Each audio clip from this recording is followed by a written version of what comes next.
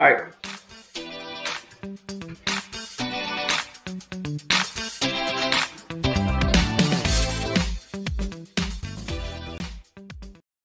Hi dear students, welcome to Student Point Academy.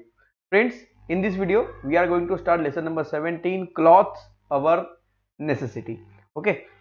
So अगर आप हमारे चैनल पर नए हैं या फिर आपने इस चैनल को अभी तक सब्सक्राइब नहीं किया और अगर आप चाहते हैं कि इस तरह की वीडियोस हम आपके लिए लेकर आते रहे तो वीडियो को लाइक कर दीजिए और चैनल को सब्सक्राइब करके ऑल नोटिफिकेशन पर भी क्लिक कर दीजिए ओके सो आइए स्टार्ट करते हैं लेसन नंबर सेवेंटीन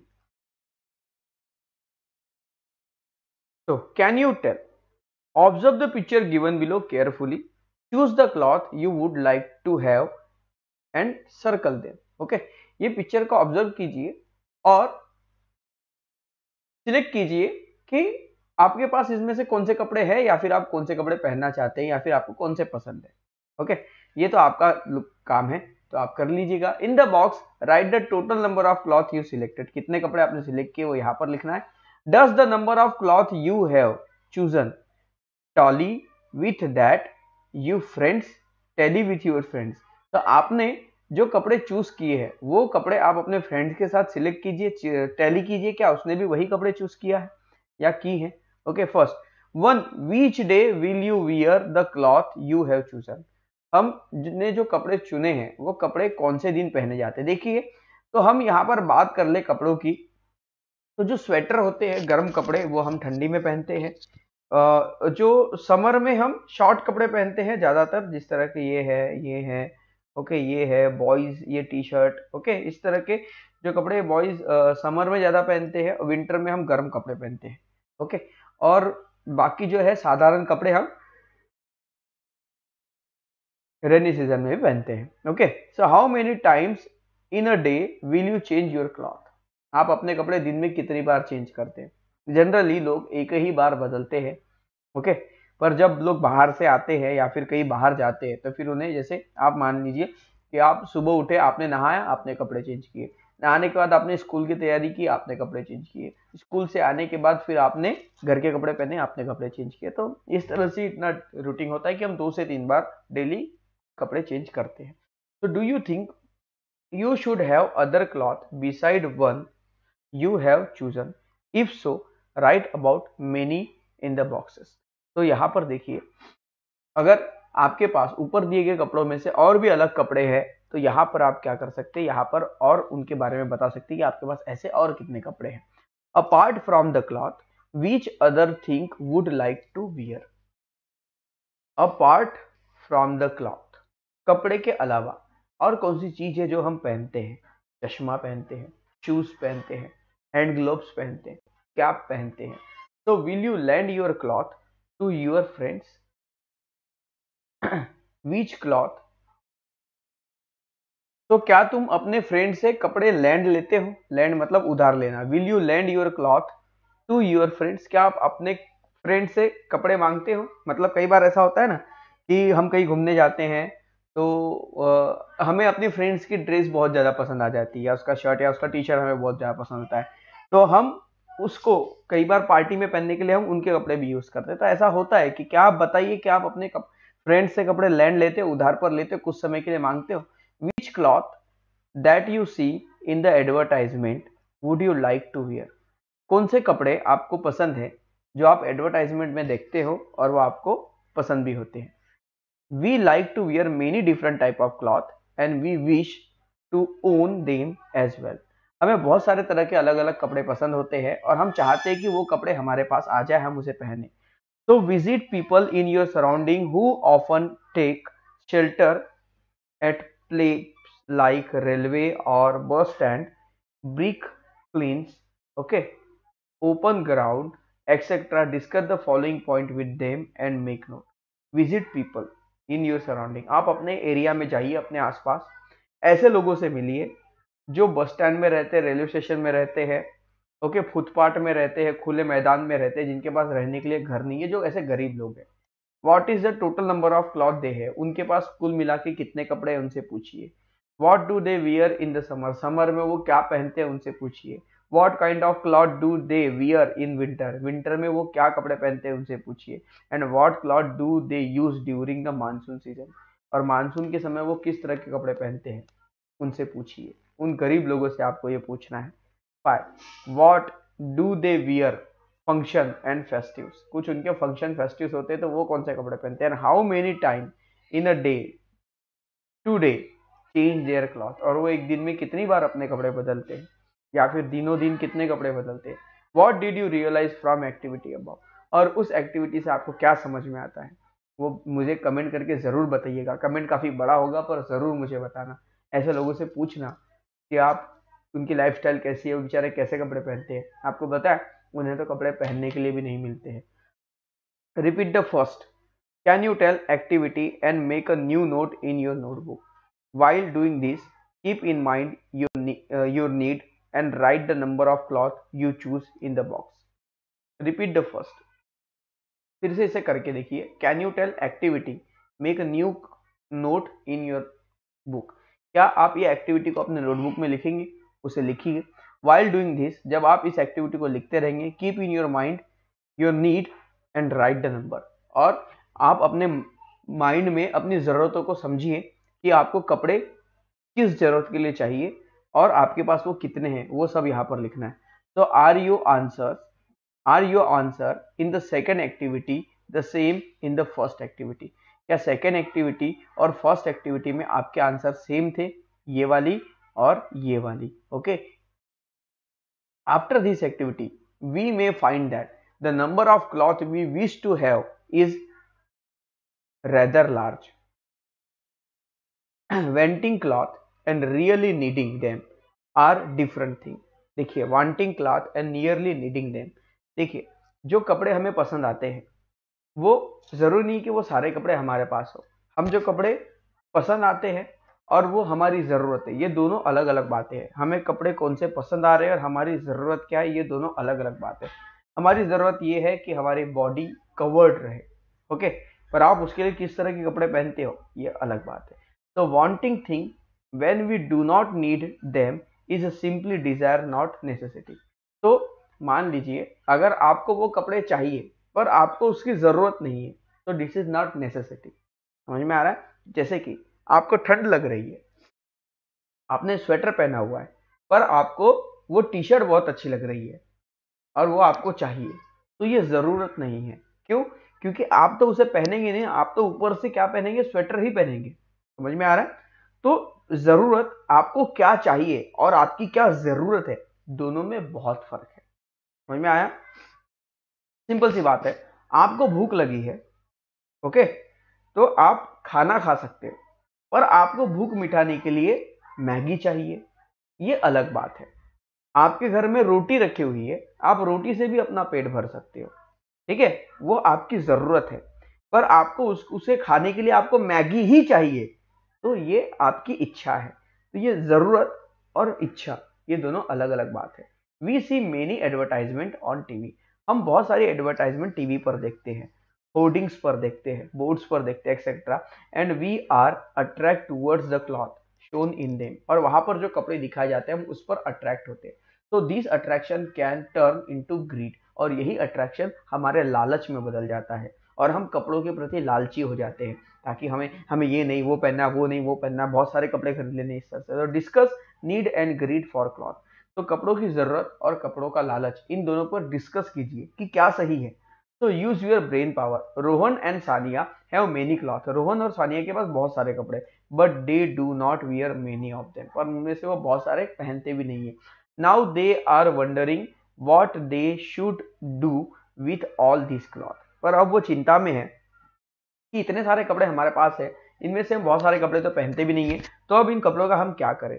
तो help them to solve their problem उनकी प्रॉब्लम सॉल्व करिए, कीजिए और हेल्प कीजिए। कैसे करेंगे आप? हम सिंपल से ही देखिए, मेरे पास भी बहुत सारे कपड़े हैं। तो अब बहुत सारे कपड़े ऐसे थे, कुछ दिनों पहले मैंने शॉर्ट आउट किए तो वो कपड़े मैं पहनता भी नहीं था। तो हमारे एरिया में क्या है, एक नेकी की दीवार करके एक बना हुआ है फुटपाथ पे, जहाँ पर जिसे जो भी चीज़ यूज़ में नहीं है, वो वहाँ पर डाल दो। चाहे आपके शूज़ हो, आपकी कैप हो, आपका चश्मा हो, आपके कपड़े हो, ज़रूरतमंद आते हैं और वो उठाकर लेकर चले जाते हैं। तो मैंने ऐसे ही किया, मुझे जो कपड़ों की ज़रूरत नहीं थी, मैंने वो उस नेकी की दीवार में ले जाके डाल दिए, वहाँ रख दिए और जिस ज़रूरत होगी वो उसके लेकर चला गया होगा। तो हम किसी गरीब की मदद कर सकते हैं। For teachers for this activity visit the near centre of textile industry with the student and arrange the interview with skill work there तो ये टीचर्स के लिए है कि टीचर्स आपको टेक्सटाइल इंडस्ट्रीज़ में अगर आपके एरिया में है तो वहाँ पर लेकर जाएँगे और सारी जानकारी आपको देंगे।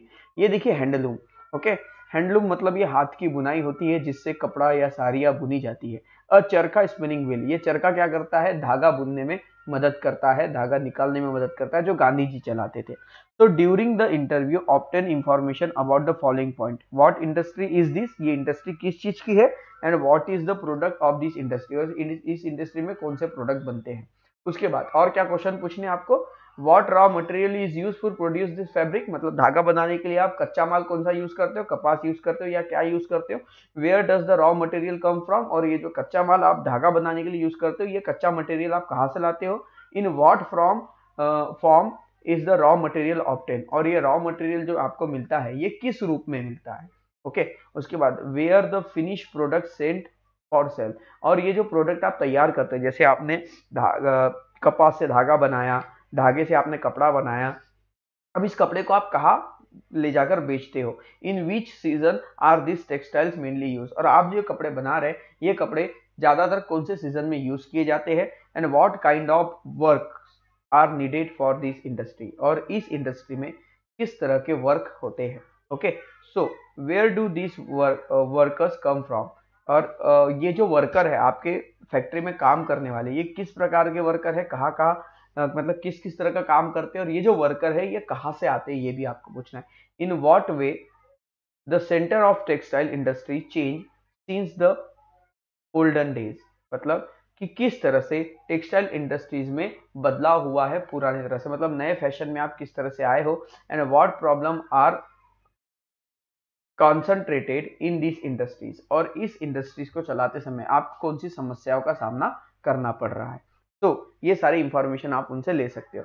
We obtain information about the textile industry centre by asking the question given about now let us see example of the textile that are the facilities of Maharashtra like the Paithani of Paithan and Yeola Himroo shawls from Aurangabad bedsheet and bed spread from Solapur handloom and powerloom cloth from Ichalkaranji okay तो ये सब अलग अलग गाँव है और यहाँ से अलग अलग तरह की चीज़ें मिलती है। तो ऊपर से जो इंफॉर्मेशन है, हम क्वेश्चन के थ्रू तो कलेक्ट कर लेंगे, पर अभी हम पैठनी के बारे में बात करेंगे जो पैठन से आती है। योला हिमरू और शॉल जो औरंगाबाद से आती है, बेडशीट और बेड स्प्रेड जो सोलापुर से आता है हैंडलूम और पावरलूम जो इचल करंजी से आते हैं। ओके इनके बारे में अब हम बात करेंगे। ये सब अलग अलग तरह के कपड़े हैं जिसका यूज़ किया जाता है पहनने के लिए। You will understand this better from the map on the next page और नीचे जो मैप दिया हुआ है, उस अब आसानी से समझ सकते हो। To the index of map at the textile industries that you know of but are not show here अगर यहाँ पर कोई टेक्सटाइल इंडस्ट्री के बारे में आपको पता है और वो मैप में नहीं है तो आप वहाँ पे उन्हें दर्शा सकते हो शो कर सकते हो। Mark them at the appropriate place on the map और उसे मैप पर, सही जगह पर उसे शो कीजिए। तो लुक हियर यहाँ पर देखिए। क्लॉथ इंडस्ट्री ये देखिए, हमारा महाराष्ट्र है। तो ये cloth from Ichalkaranji Ichalkaranji से क्लॉथ कहाँ से आता है? ये देखिए, ये है।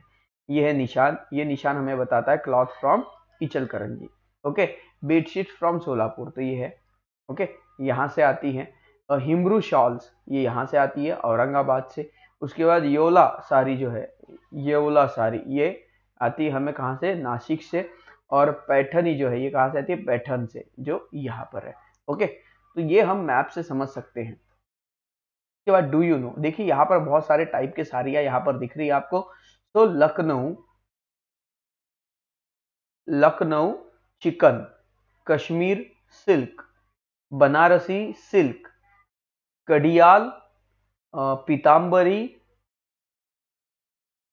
ओछमपल्ली ओछमपल्ली, उसके बाद नारायण पेट उसके बाद है कांजीवरम, पाटोड़ा, मैसूर मैसूर उसके सिल्क आता है and some type of saris ये सब अलग अलग तरह की साड़ी है। Lucknow chikan, Kashmiri silk, Banarasi silk, Kadiyal Pitambari Pochampally, Narayanpet, Kanjeevaram, Patola, Mysore, ये सब अलग अलग साड़ियों के नाम है। This saris from different part of India show showcase the diversity of our country ये साड़ी जो है, भारत के अलग अलग जगह से आई हुई है और ये हमें क्या बताती है? डाइवर्सिटीज कपड़ों में देखिए डाइवर्सिटी जैसे हमारे लोगों में डाइवर्सिटीज है ओके, हमारे समाज में, हमारे कास्टिज्म में कितनी सारी डाइवर्सिटीज है। हम अलग अलग तरह के लोग अलग अलग तरह की भाषा बोलकर यहाँ पर रहते हैं। अलग अलग तरह के खाना हमारा भी होता है। तो उस तरह से अलग अलग तरह का पहनावा भी हमारा होता है। To find out more about different varieties of cloth cloth की और अलग अलग वेराइटीज ढूंढिए आप। और उसके लिए आपको क्या करना करना विज़िट क्लॉथ मार्केट कपड़ा मार्केट में जाइए अपने पेरेंट के साथ discuss the point given below और नीचे जो पॉइंट है, उसे डिस्कस कीजिए with people there and make note. और वहाँ पे जो लोग रहेंगे, उनके साथ ये पॉइंट डिस्कस कीजिए और उसकी नोट बनाइए। पहला look at the variety of cloth and make a list their name सबसे पहले वेराइटीज देखिए क्लॉथ की और उनके नाम भी लिखिए।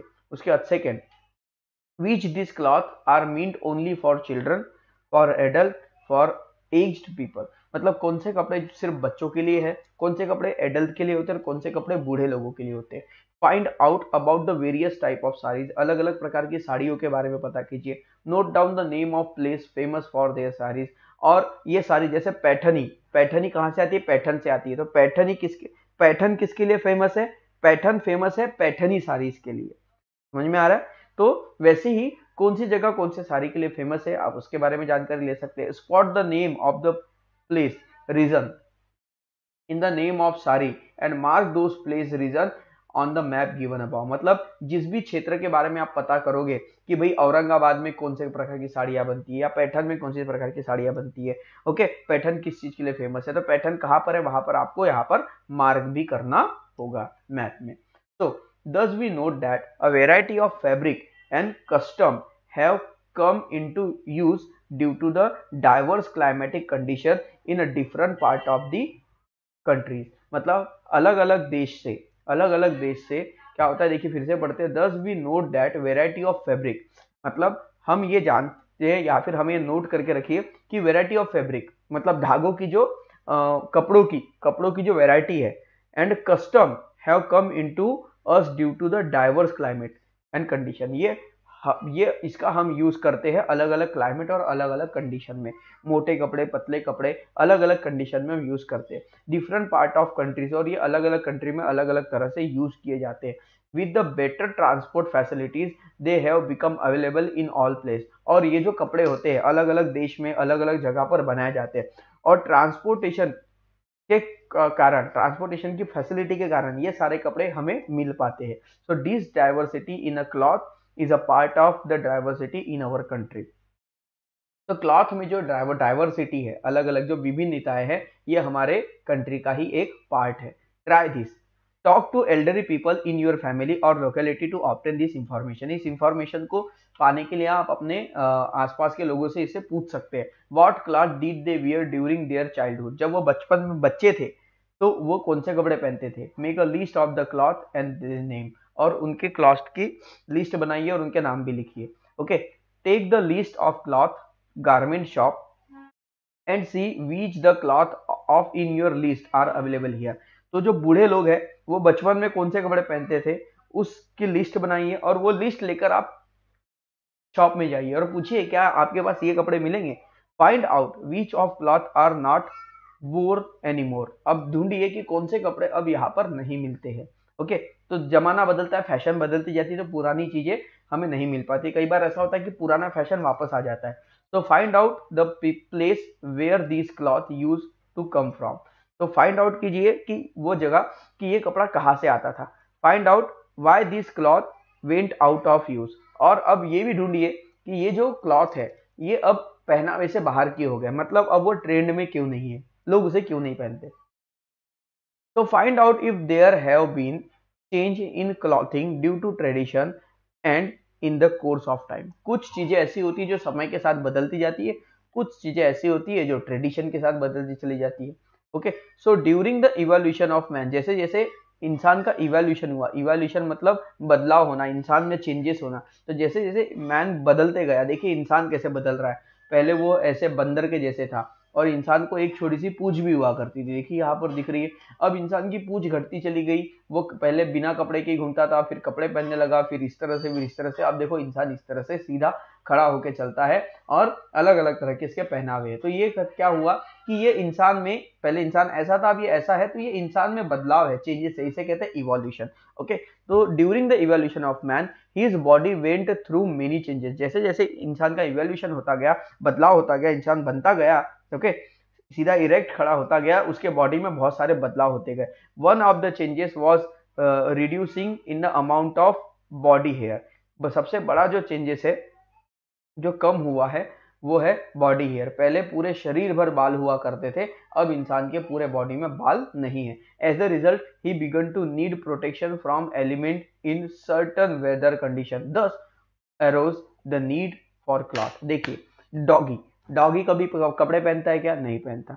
फिर भी वो ज़िंदा है। क्या गाय, बैल, भालू कपड़े पहनते? नहीं, फिर भी वो ज़िंदा है। फिर हमें कपड़ों की ज़रूरत क्यों है?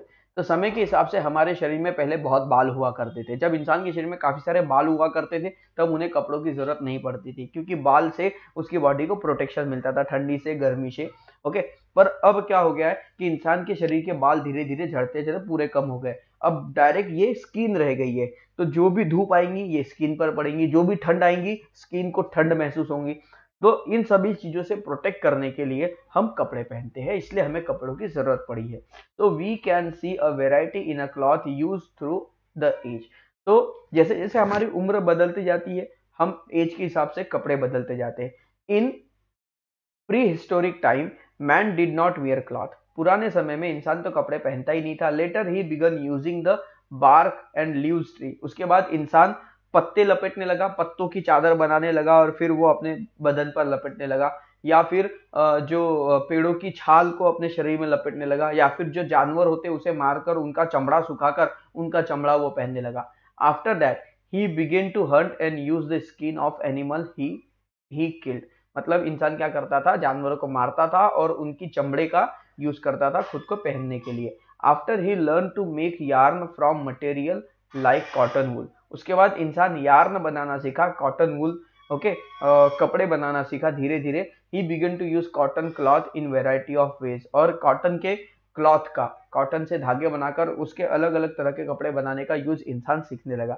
You will see the progress in the picture given below और ये जो प्रोग्रेस है आप यहाँ पर देख सकते हो। इस पिक्चर में हमने देखा पहले इंसान ऐसा था अब इसके पहनावे की और इसके कपड़ों की प्रो, प्रो, प्रोसेस देखते हुए चलिए। ओके तो यहाँ पे बहुत सारी हमें डिफरेंसेस दिखाई देते हैं। Always remember nature has give us enough fulfil everyone's need कुदरत हमारी जरूरतों को पूरा करती है। हम सभी की जरूरतों को पूरा करती है। However nature can not quench man's greed और कुदरत जो है, हमारे लालच को पूरा नहीं करती। कुदरत हमारी ज़रूरत को पूरी करने के लिए है। उस ज़रूरत को अपनी लालच बनाकर पूरी मत कीजिए। Man must give priority to his need and not desire only then will nature be able to take care of us all इंसान ने सिर्फ़ अपनी ज़रूरतों को पूरी करना चाहिए, अपने लालच को नहीं। अगर आप लालच को पूरा करोगे तो उसके बाद जो भी गड़बड़ होंगी इन्वायरमेंट में नेचर में, उसका दोष आप ऊपर वाले को या नेचर को नहीं दे सकते, क्योंकि उसके जिम्मेदार हम खुद होंगे। क्योंकि हम ही नेचर का बुरा यूज़ करके, गलत यूज़ करके उसे बर्बाद कर देंगे। Mumbai was famous world wide for the textile mills कपड़े बनाने की इंडस्ट्री के लिए मुंबई सबसे ज़्यादा फ़ेमस है।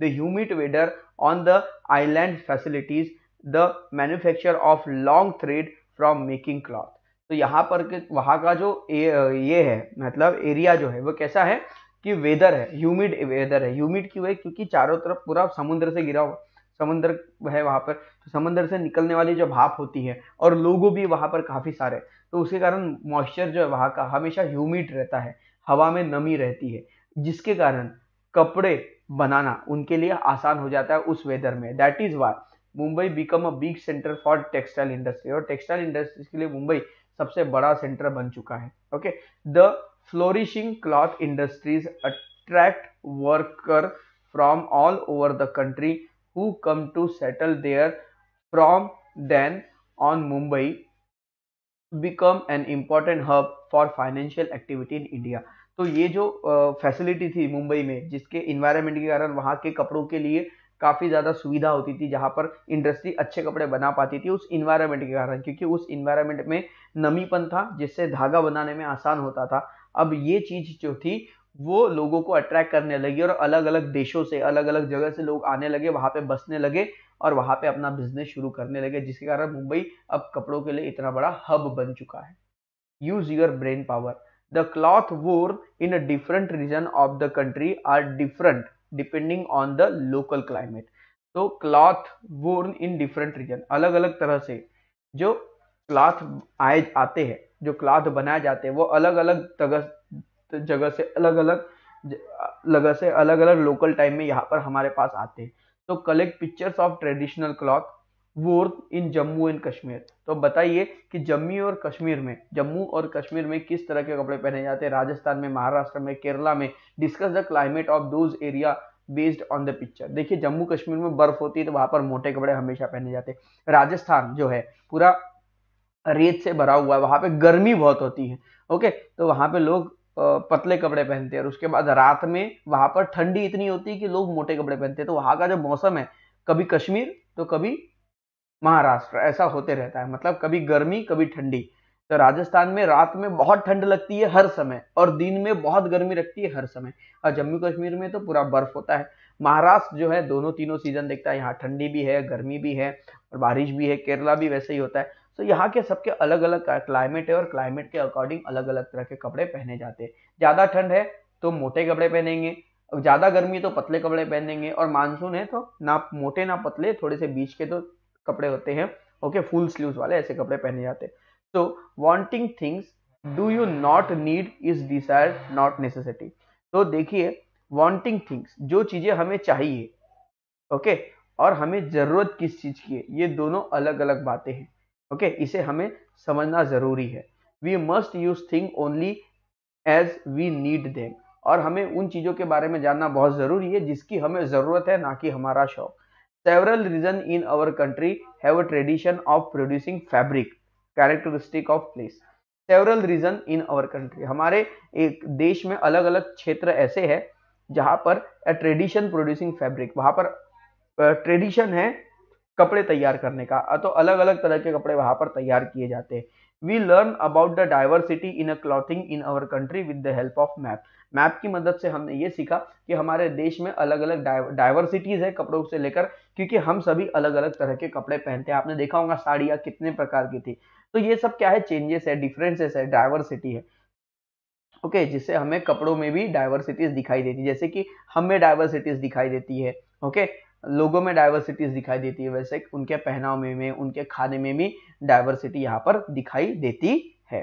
ओके सो so, स्टूडेंट्स इसी के साथ ये लेसन यहीं पर कंप्लीट होता है। अब आते हैं इसके हम क्वेश्चन आंसर सेशन की ओर। तो students lesson number seventy seventeen के क्वेश्चन आंसर आपके सामने है। इसका स्क्रीनशॉट कर लीजिए ओके ये है chapter number seventeen okay take this snapshot ये क्वेश्चन नंबर वन और उसके बाद फिर ये टेबल है आप इसका भी स्क्रीनशॉट कर लीजिए। बस इस लेसन में इतना ही है। इससे ज़्यादा कुछ नहीं है ओके इसके बाद लेसन नंबर 18 शुरू होता है। तो स्टूडेंट्स आई होप दैट आपको ये वीडियो ज़रूर समझ में आ गया होगा। जो भी इंफॉर्मेशन हमने आपको दी है इस लेसन से रिलेटेड वो आपको समझ में आ गई होंगी। अगर आपको ये वीडियो कैसा लगा कमेंट बॉक्स में ज़रूर बताइए। वीडियो अगर अच्छा लगा तो वीडियो को लाइक कर दो चैनल को सब्सक्राइब नहीं किया तो सब्सक्राइब ज़रूर कर दो। तो मिलते हैं अगले वीडियो में, तब तक के लिए बाय बाय